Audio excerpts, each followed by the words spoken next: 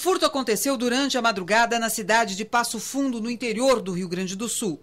E o assaltante só descobriu depois que havia uma criança no veículo. Então ligou para a polícia.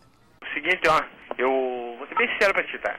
Eu roubei um carro ali, tá? Agora, e eu peguei o carro, tinha uma criança dentro, cara. E eu não vi, entendeu? Não vi. Então o que, que eu fiz? Eu peguei o carro, botei o carro atrás da nada. Tá? Então tomando uma viatura lá e mando o pai dele pegar ele e levar pra casa. Um piazinho, tá? Que carro é? É o Monza. Tem um piazinho dormindo no banco de trás, tá? Monza. E disse pro pai dele se não ir. Próxima vez que eu pegar aquele alto e tiver, o pia lá, vou matar ele.